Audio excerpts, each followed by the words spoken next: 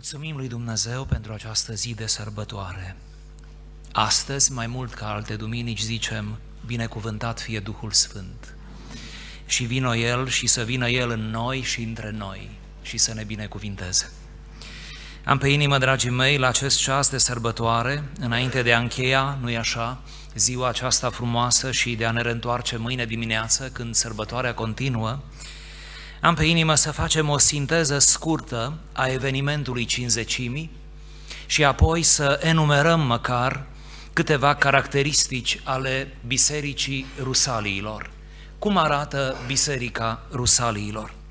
Întâi, o mică și, cred eu, necesară sinteză. Evenimentul descris în fapte, capitolul 2, cunoscut de noi ca și evenimentul cinzecimii sau pogorârea Duhului Sfânt, a fost ceva de o noutate absolută. El nu seamănă cu nimic din ce a fost înainte sau dacă seamănă într-un fel, nu este același lucru.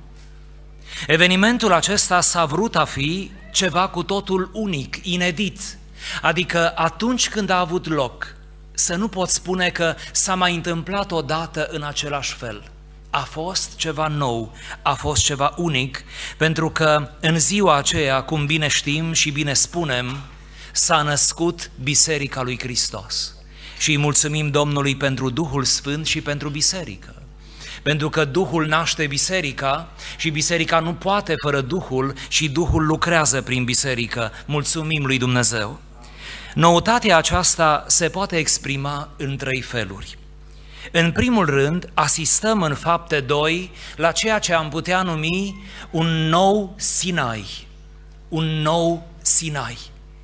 La vreo trei luni după plecarea din Egipt, după trecerea Mării Roșii, atunci când evrei începeau o călătorie ce avea să dureze mult, vreo 40 de ani, în drum spre Canaan, la un moment dat, cum bine știm din Exodul, ei trec pe lângă un munte care nu spunea nimic – Sinaiul, din punct de vedere geografic, este un munte de o înălțime joasă, care nu te atrage prin semeția lui.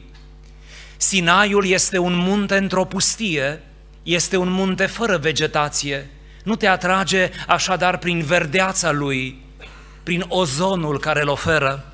Sinaiul, de asemenea, era un munte fără zăcăminte naturale. Nu avea nimic pe el, nu avea nimic în el. Pe lângă Sinai puteai trece fără să-l observi. Un munte în mijlocul pustiei, un bloc de piatră în atât de mult nisip nesfârșit.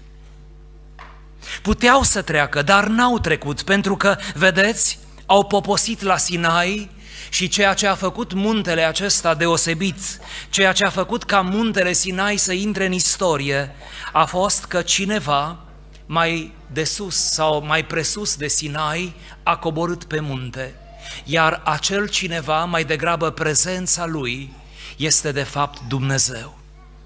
Iar Moise trebuie să urce pe munte. Avem aici o metaforă a relației dintre om și Dumnezeu. Dumnezeu coboară, pleacă cerurile ca să vină la noi, iar omul pășește câțiva pași spre vârful muntelui, își deschide inima, își pune la lucru voința, se dezbracă de prejudecăți, de aroganță, de toate câte îl împiedică și urcă pe munte în prezența lui Dumnezeu. Ei bine, omul care a urcat pe munte, cum știm, a fost Moise, om ales de Dumnezeu. Iar despre urcușul pe munte a lui Moise au scris evreii, au scris creștinii și încă nu s-au oprit. Ce urcuș, ce eveniment, ce teofanie! În jurul muntelui Sinai, ca să facem legătura cu noul Sinai, era poporul evreu campat acolo, adică o populație compusă de oameni de diferite vârste care parcurgeau același drum spre aceeași destinație și în călătoria lor a oprit la Sinai, cum vă spuneam. La un moment dat, privind spre munte, au avut parte de două experiențe senzoriale, o experiență auditivă și una vizuală. Cea auditivă, dacă vă veți uita în Vechiul Testament, e dată de un vâjuit de vânt puternic, adică de un sunet puternic de care nu te puteai apăra. Și sunetul acela nu-l mai auziseră niciodată, probabil nu se mai auzise până atunci niciodată pe pământ, un sunet menit să atragă atenția că pe munte are loc ceva cu totul deosebit. Dumnezeu se întâlnește cu omul. Dar n-a fost numai experiența auditivă, ci a fost și o experiență vizuală. Zice că muntele a fost cuprins de flăcări și foc și fum. Și o imagine cum nu s-a mai văzut. Nu ardea vegetația, ardea piatra. Era foc din piatră, ce temă mare în istoria umanității. Că doar din piatră s-a făcut foc, nu? Sau se poate face foc. Dar acest foc nu era aprins de o acțiune mecanică, fizică. Acest foc cobora din cer de la Dumnezeul care se numește printre altele un foc mistuitor. Și iată Sinaiul într-un sunet asurzitor, într-un foc ce arde și parcă nu mistuie, și poporul stând de față, înconjurând muntele, stând, privind, înghețat de spaimă, nu înțelege nimic, pentru că din sunet, care e ceva nedeslușit, și din foc, nu poți să pricepi nimic decât să te sperii, decât să te iei de mână cu celălalt, decât să stai înmărmurit în fața spectacolului. Și acum ne mutăm în fapte 2 să ne aducem aminte din textul de dimineață, unde, cum vedem în Ierusalim, în odaia de sus, zice că un sunet puternic a vâjuit unui vânt. Acum, nu în deșert, acum în Ierusalim, acum în capitală, unde nu te-ai aștepta, pentru că Ierusalimul nu e orașul pro-Isus, ci e orașul contra-Isus, anti-Isus. Ierusalimul e orașul elitei, a aroganței evreiești. Ierusalimul e orașul legii, a literei, pentru că saducheii care conduceau Ierusalimul, respectiv templul, erau teologii legii scrise, nu cea orale, adică tot ce scrie și numai ce scrie în Vechiul Testament, în Tora. Și iată că în Ierusalim se aude un sunet puternic, ca pe vremuri. Și iată cum nu numai auditiv, ci vizual, cei prezenți în Ierusalim din toate neamurile de sub cer, cum zice Luca, au văzut la un moment dat niște limbi ca de foc, pogorându-se pe fiecare din ei. Și avem sunet și foc. De aceea, evenimentul cinzecimic este un nou Sinai. De aceea vă rog să citiți, să citiți Fapte 2 prin lentila Sinaiului din Vechiul Testament. De aceea s-a arătat Dumnezeu acolo, dar s-a arătat, ați văzut, unui singur om, s-a arătat mai degrabă ca să tragă un semnal de alarmă, ca să ridice cumva tot poporul în picioare, chiar dacă nu înțelege. Și acum se arată din nou prin aceleași semne, prin sunet și prin foc. Și se minunează cei veniți în Ierusalim, iudei și prozeliți, ba chiar oaspeți din Roma, cum spune Luca. Se minunează toți când văd ce n-au mai văzut, cum în încăperea aceea, în odaia aceea de sus, probabil aceeași în care s-a instituit Euharistia, nu? În Ierusalim, în încăperea aceea, un sunet puternic umple tot orașul și limbi ca de foc sunt văzute așternându-se pe fiecare din ei. Vă spuneam că cinzecimea este un nou Sinai, pentru că aici e mai mult decât un sunet și decât limbile de foc. Aici zice că ucenicii au început să vorbească în alte limbi, după cum le dădea cine? Duhul să vorbească. Și minunea constă în această vorbire în alte limbi, în cazul acesta vorbire inteligibilă în limbi curente ale Imperiului Roman. Și când încep a vorbi, probabil fiecare vorbea într-o altă limbă, altă limbă. Și toți care auzeau, înțelegeau, pentru că, vedeți, pentru fiecare etnie, cineva vorbea. pentru fiecare etnie. Nimeni n-a venit degeaba la Ierusalim atunci, pentru că iubiți, frați și surori, să auzim și să ne încurajăm când Duhul vorbește, toți înțeleg. Când Duhul nu vorbește, nimeni nu înțelege. Numai ni se pare că înțelegem. Dar când Duhul vorbește, vorbește de slușit, iar ei erau galileieni. Nu se mirau cei din Ierusalim zicând nu sunt aceștia galileieni. Galileieni, printre altele, înseamnă nevorbitor de limbi străine, fără talent la limbi străine. Ei nu învățaseră limbile acestea cu manualul de gramatică, ei nu știau gramatică, dar vorbeau. Bine, aici lucrurile stau cam la fel, că nici azi nu prea se știe gramatică dar vorbim. Aici nu suntem prea diferiți. Gramatica e lucru mare.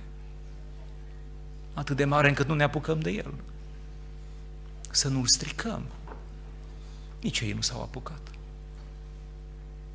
Ei nu știau, nici nu doreau a ști. Ce liberi erau. Nu stătea nimeni să vadă făcut corect acordul gramatical. Îi spunea nimeni acasă, vezi că ai făcut un dezacord. Păi câte dezacorduri n-am făcut eu. Sigur că ne iertați.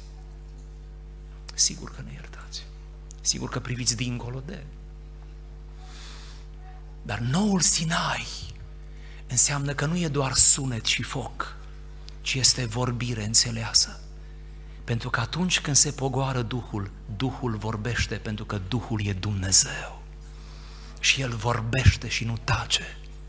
Și de atunci până azi și până la a doua venire a lui Hristos, Duhul vorbește, va vorbi și Duhul își, își face din biserică necontenit în fiecare generație, își face unealta, vectorul prin care își transmite mereu mesajul, când într-un fel, când într-altul, când printr-un dar, când prin alt dar, când printr-o vocație, când prin altă vocație, când prin cuvinte, când prin tăcere când prin cântec, când prin rostire, în moduri diferite, în locuri și stiluri diferite, să nu ne îndoim de Duhul Sfânt care vorbește.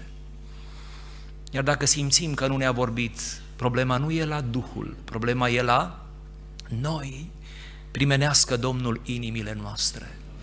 Și Sinaiul acela Acum mă refer la acesta nou din fapte 2, să fie ceva perpetu, chiar dacă nu neapărat cu aceleași amănunte, pentru că nu e așa, Duhul este infinit în manifestarea Lui, vântul suflă încotro, vrea, în moduri mereu diferite și creative, cumva noul Sinai să fie o realitate pentru noi în fiecare generație, să lucreze Dumnezeu. În al doilea rând, nu este doar un nou Sinai, ci este un nou seceriș. Un nou seceriș. Trebuie să ne întoarcem pentru aceasta în Vechiul Testament, nu vom citi, doar vă povestesc. Că și mie îmi place mai bine să-mi povestești decât să-mi citești. Îi iubesc pe cei care îmi pot povesti ceva. Îi iubesc tare. Mă dau pe lângă ei. Cinzecime rusalii, dar mai degrabă cinzecime. Este o sărbătoare evreiască, care se numește în traducerea ei cumva sărbătoarea săptămânilor. Iar asta cu Pentecost, asta a fost o denumire greacă dată de iudaismul elenistic de la Alexandria, cu sediul la Alexandria. Dar cumva ea era cunoscută în poporul evreu ca sărbătoarea săptămânilor și ca să ne rămurim era vorba de șapte săptămâni de la Paște, adică șapte ori șapte, plus 1, adică 50 de zile. Și de aici 50. Sărbătoarea aceasta a săptămânilor era de fapt sărbătoarea secerișului sau cum se mai numește dacă citim cu atenție în Leviticul, este sărbătoarea roadelor, moment în care tot evreul, agricultor, pentru că toți erau agricultori, trebuiau să aducă o anumită parte, o anumită pârgă din roade, din seceriș, ei secerau de două ori pe an și acum este primul seceriș, de obicei cel mai bogat la scara unui an, trebuiau să aducă din recoltă și să o înfățișeze într-un mod ritualic înaintea lui Dumnezeu și cumva ridicând snopii înaintea lui Dumnezeu, ridicând din bunurile lor, ridicându-le, să recunoască prin gestul acesta, prin sărbătoare, prin oprirea în loc, să recunoască că tot ceea ce au în mâini este de fapt un dar de la cine? de la Dumnezeu. Sărbătoarea aceasta a roadelor e o sărbătoare pe care noi o avem într-un fel de hibrid, într-un fel de hibrid, dar nu o să spun cum hibrid. O ținem noi toamna, știți? Acolo facem noi o combinație care n-am deslușit-o încă. Ce facem noi toamna atunci? Dar sigur că noi o facem din rațiuni cu totul prozaice, pentru că atunci se coc cele dulci, cele bune și le putem pune aici în față. Și bine e. Bine e să facem decât să nu facem. Dar sărbătoarea roadelor, de fapt, însemna un popas spiritual în care ne adunăm, venim înaintea lui Dumnezeu și cu tot ce ne-a dat îi aducem mulțumire și recunoștință, cum se spune în textele, în primele texte liturgice din primele viacuri, este acolo o secvență și suportați, vă rog, doar secvența aceasta, unde zice ale tale dintr-o ale tale. Ale tale dintr-o ale tale. Pentru că vorba lui Pavel, ca să cităm un verset și să ne liniștim, ce avem care să nu fi primit? Ce avem? Care să nu fi primit. Ce merit avem că pământul își dă roadele? Că avem în cămară tot ce ne trebuie, cum tot ce ne trebuie, mai mult decât ne trebuie. Că adunăm și apoi nu știm cum să eliberăm. Că punem și apoi nu știm cum să consumăm. Dar bun e Domnul și roade în multe feluri ne dă Dumnezeu. Și sărbătoarea aceasta a roadelor ar trebui să fie o atitudine de recunoștință permanentă, secerișul, vedeți, secerișul în Vechiul Testament, dar aici e un nou seceriș. Priviți, vă rog, la predica lui Petru, predica rusaliană, descrisă în capitolul 2, priviți începând de la versetul 37, de unde s-a citit în deschidere. Și veți vedea că după predică ei au întrebat fraților ce să facem. Și Petru a zis, pocăiți-vă fiecare din voi să fie botezat. În numele Domnului Domnului Isus Hristos spre iertarea păcatelor, apoi veți primi darul Sfântului Duh, cu multe alte cuvinte, mărturisea, îndemna și zicea, mântuiți-vă din mijlocul acestui neam ticălos. Și apoi zice că cei care au primit propovăduirea lui au fost botezați și în ziua aceea s-au adaos la cei 120, aproape câți? 3000, ceea ce înseamnă un seceriș bogat un seceriș nou, un seceriș inedit, un seceriș cum nu s-a mai văzut, dar nu din cele pământești, ci un seceriș în suflete, nu? în recoltă sufletească, umană, spirituală, iată-i aproape 3000 care se alătură celor 120 și alcătuiesc prima biserică din Ierusalim. Aproape e greu să ne imaginăm cei trei mii unde s-au strâns? Evident că nu exista o clădire care să-i cuprindă, de aceea o vreme, în mod, iată cât li s-a permis, o vreme scurtă, se strângeau în pritforul zis al lui Solomon, în spațiul acela semi-deschis, pentru că nu puteau, n-aveau unde să se adune. Sigur că se ridică întrebări procedurale aici, cum a botezat 3000 cu ce apă, în vreme ce în Ierusalim era o criză de apă, cum nu vă puteți imagina. Ierusalimul ca și poziționare, ca și oraș, avea toate neajunsurile posibile. Toate neajunsurile. Nu trecea pe lângă Ierusalim niciun drum comercial din acela important. Nu exista niciun râu care să străbată orașul. Prin urmare, nu exista sursă de apă. Apa a fost mereu o mare problemă. Abia în Ierusalimul Ceresc, citim în Apocalipsa ultimele capitole, zice, este un în sfârșit, în ăla ceresc este un râu ale căror izvoare. Numai în acela ceresc, în ăsta pământesc nu este. De fapt, tot ce citim în Apocalipsa de cel ceresc este o suplinire a celui pământesc. Ierusalimul, un oraș înghesuit, cu ulițe înguste, cu clădiri de tot felul, dar de obicei precare, un oraș parcă asaltat tot timpul de pelerini, mai ales la marile sărbători, un oraș cu o mizerie de nedescris și cu niște mirosuri cum n-ați vrea să mirosiți. Un oraș deloc ecologic. El, de fapt, intră în istorie doar din cauza lui David, dar sigur, e un argument suficient. Că dacă David a pus acolo dinastia și dacă până și Isus intră în dinastia lui David, de aceea Ierusalimul este ceea ce este. El intră în istorie printr-o vocație teologică, dacă vreți, istorică, dar nu geografică. Și Ierusalimul, cum vedeți, se face martorul unui seceriș extraordinar, un seceriș bogat, în care mii de oameni se întorc la Domnul, nu se întorc la iudaism, vedeți? Nu devin evrei ca apoi să devină creștini, ci de vor fi fost evrei sau alte naționalități, nu contează, noi credem că și alte naționalități prezente acolo, ei vor fi devenit direct creștini, pentru că este un nou seceriș. Să afirmăm și să credem că acest nou seceriș îl lucrează Duhul, Duhul Sfânt de-a lungul fiecarei generații până la a doua venire a lui Hristos. Să nu ne îndoim de Duhul Sfânt, de noi să ne îndoim dacă suntem la îndemâna Lui, dacă avem metode potrivite, dacă avem atitudini potrivite, dar Duhul lui Dumnezeu lucrează. Și o, o remarcă foarte frumoasă la care vreau să facem referire, apoi mergem la a treia, al treilea element, este că Domnul adăuga în fiecare zi. Cândva mi-a zis un frate, cu o sinceritate debordantă, a zis, frate, scrie acolo în Biblie, frate Ghiță, că adăuga în fiecare zi. Scrie. Zice, eu n-aș avea pretenția să adauge în biserica noastră în fiecare zi, dar măcar în fiecare, măcar în fiecare duminică. Că așa de frumos se predică, așa de frumos se cântă, așa har e la noi la biserică. Că mă mir cum de nu se întorc oamenii la Dumnezeu. Că nu numai că nu se întorc, dar mai pierdem și pe drum dintre ai noștri. Deci nu numai că nu se întorc. Și mă mir cum e posibil. L-am îndrăgit pe omul ăsta pentru că el spunea ceva. Cum e posibil să citim că în fiecare zi și la noi nici măcar în fiecare duminică Corect ar fi în fiecare duminică să avem botez. Nu e așa, frate Ghiță? Așa este. Dar pe cine să botezăm? Asta e întrebare.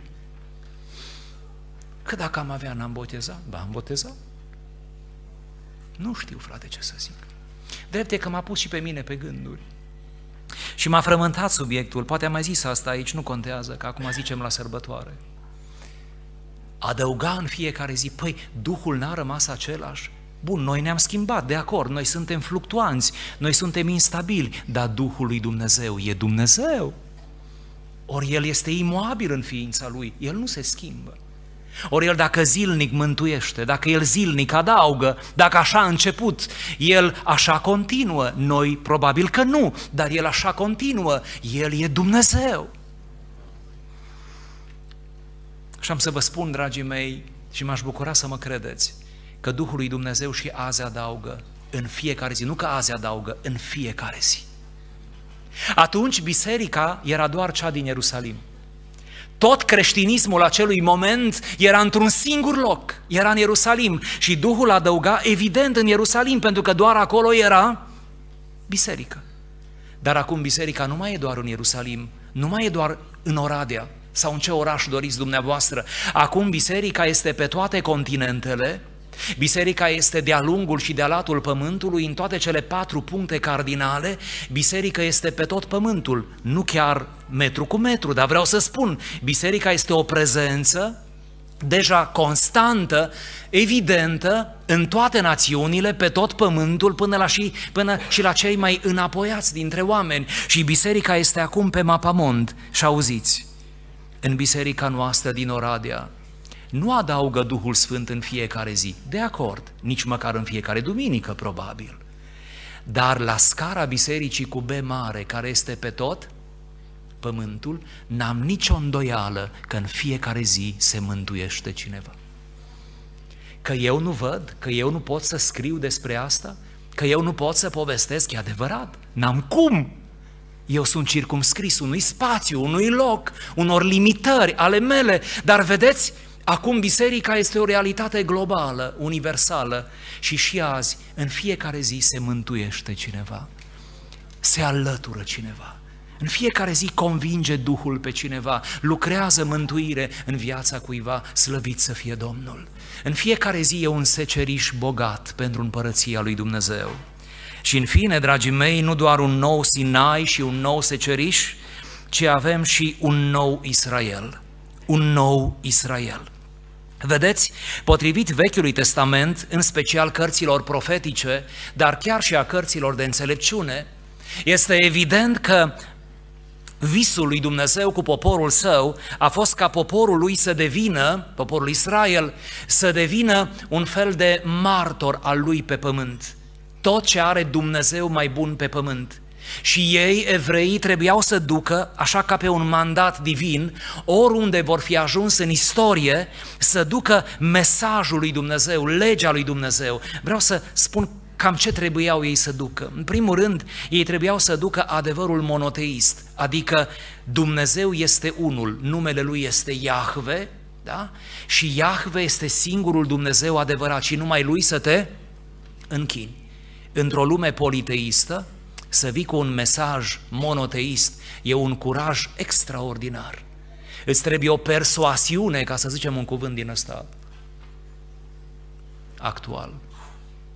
O persoasiune, o tenacitate, o perseverență. Îți trebuie program, trebuie să lași de lucru la urmași, trebuie fiecare generație să ia din nou mandatul, din nou, din nou, și să proclame Dumnezeul unic. De asemenea, evreii trebuiau să proclame o moralitate superioară tuturor formelor de moralitate din jur, dată de decalog și de toate celelalte reglementări morale din Vechiul Testament. Ei trebuiau de asemenea să proclame șansa unei mântuiri universale care venea prin evrei, bineînțeles, adică prin ei, venirea la iudaism, acceptarea Dumnezeului evreilor însemna șansa oricui ca să se mântuiască și el, să intre în tabăra celor salvați. Și iată cumva mântuirea era, era legată de misiunea poporului evreu, ceea ce nu era puțin lucru. Însă, cum știți, evreii de la o generație la alta, nu numai că nu s-au achitat de această misiune, de acest mandat. Au abdicat ei și au căzut în apostazie, în idolatrie, în imoralitate, în trăire neconformă cu standardele, cu preceptele scripturilor, ale legii lui Dumnezeu. Și iată-i pe evrei, iată poporul Israel care se descalifică. Sigur că se ridică profeți care strigă necontenit, întoarceți-vă, pocăiți-vă, simțiți-vă ticăloșia, faceți fapte vrednice de pocăință, sigur că va striga ca un ultim profet în sensul veterotestamental, Ioan Botezătorul, același lucru, Iisus la fel, pocăiți-vă, Petru la fel, pocăiți-vă. Dar ei de mult vor fi abdicat din acest mandat divin. Însă, cum vă ziceam, dacă Israelul cel vechi a decăzut, cum explică așa de frumos Apostolul Pavel în Romani, capitolul 11, atunci Dumnezeu a îngăduit ca prin nașterea bisericii la cinzecime, biserica să fie un nou Israel.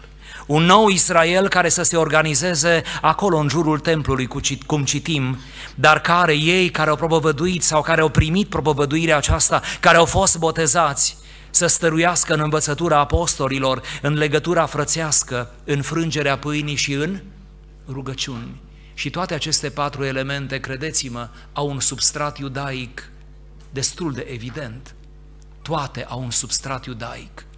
Cam tot ce scrie în versetul acesta sunt reflexe ale sinagogilor ce se născuseră în Babilon și ei le-au adus cu ei sinagogile în Palestina.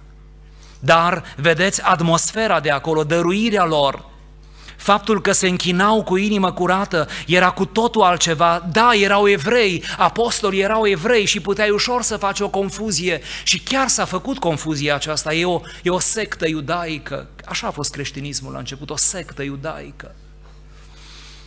Dar în scurtă vreme și-a dat seama și cine a vrut să vadă a putut să vadă că e ceva cu totul nou și că deși sunt evrei, cei din nucleul creștinismului primar, ei nu sunt doar evrei, ei sunt evrei creștini, evrei încreștinați, evrei care l-au primit pe Hristos. Și iată un nou Israel.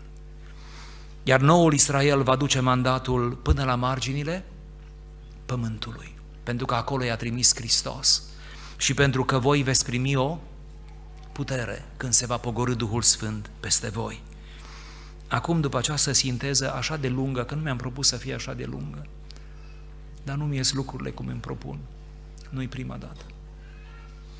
Îngăduiți-mi înainte de rugăciunea de final, doar să enumerăm caracteristicile bisericii rusaliilor, în lumina acestei sinteze. sinteze. Biserica Rusalilor are îndrăzneală. Petru și cei de după el, cei de lângă el, sunt gata să se ridice în picioare, să proclame, să meargă cu Domnul până la moarte și în cazul lui Petru încă moarte de cruce. Și în cazul lui Petru. Și cu excepția lui Ioan, care moare de bătrânețe, dar nu scapă de exil totuși, nu? Nu chiar o bătrânețe liniștită? Cu excepția lui Ioan, toți mor ca martiri și nu se întorc, nu se gândesc să dea înapoi, nu trădează, nu se leapădă, nici Petru nu se mai leapădă, pentru că, vedeți, Biserica Rusaliilor are îndrăzneală nu din temperament, nu din educație, nu din dezvoltare personală, nu din tehnici cum să ai îndrăzneală, ci îndrăzneală de la Duhul Sfânt al lui Dumnezeu. Ce ne lipsește nouă nu este tupeul, din asta avem. Nu este șmecheria, din asta avem că mai putem tăia din ea. Nu este replica. Avem replici, nu avem ascultători, poate câte replici avem, care să se minuneze de ce replici dăm noi. Din astea mai trebuie să tăiem. Din îndrăzneala asta trebuie mai cu atenție, mai cu smerenie, mai cu bun simț, mai cu un pic de caracter și de smerenie. Nu ducem lipsă de îndrăzneală din asta omenească. Trăim în epocă din aceasta umanistă care ne învață să ne dezvoltăm. Atâta ne dezvoltăm că nu mai încăpem unii de alții. Fiecare e un univers. Serios? Așa ceva nu s-a conceput până acum în istoria lumii. Noi avem nevoie de îndrăzneală de la Duhul Sfânt, îndrăzneală supranaturală. Inspirație de asemenea, că de unde să fi știut Petru să citeze din Ioel când a ținut predica? Doar a fost inspirație. N-a umblat el la școlile de la Ierusalim ca să învețe. Poate era singurul text care îl știa din Vechiul Testament. Poate era singurul. Poate îi plăcea lui cel mai mult. Nu contează. Îl avea și Duhul a luat ce avea în minte și a utilizat. I-a dat inspirație. Inspirație de la Duhul Sfânt. Comuniune Uniți au fost și înainte, și frica unește oamenii și alte interese meschine, dar acum comuniunea este doar în Hristos, despre Hristos. Și comuniunea aceasta e de la Duhul Sfânt. Și, în fine, perseverență. Iar Cartea Faptele Apostolilor ne aduce, ne aduce dovadă, ne aduce dovada ca perseverența aceasta a ucenicilor, a primilor creștini, a fost necontenită și în multe împrejurări. Iubiții mei, să facă Domnul și din biserica noastră, biserica Rusaliilor. Și să fie și la noi un nou Sinai, un nou seceriș, un nou Israel spre slava lui Dumnezeu. Haideți să ne ridicăm, dragii mei.